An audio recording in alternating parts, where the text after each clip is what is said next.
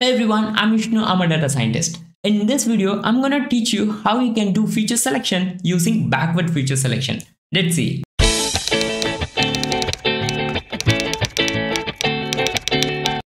Backward feature selection is straight opposite to forward feature selection. In forward feature selection, we start with zero feature and iteratively we add new features one by one.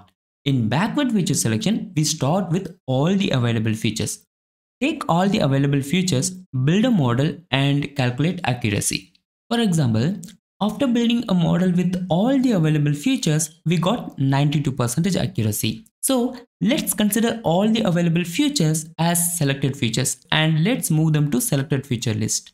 After that, we have to drop one feature from the selected feature and build a model with remaining features, then calculate accuracy. Then again we have to drop the second feature, build a model and calculate accuracy. Similarly, drop features one by one and build a model, then calculate accuracy.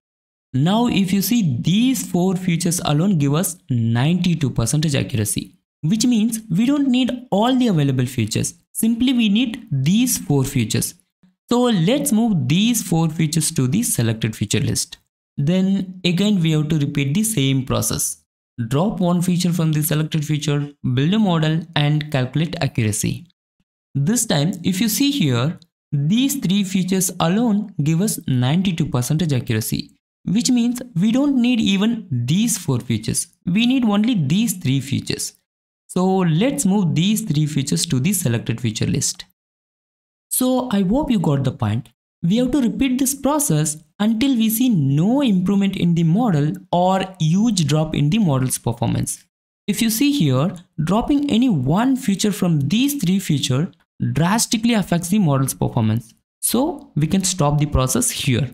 Finally, we can say that these three features are the best features. This is how we can select features using backward feature selection.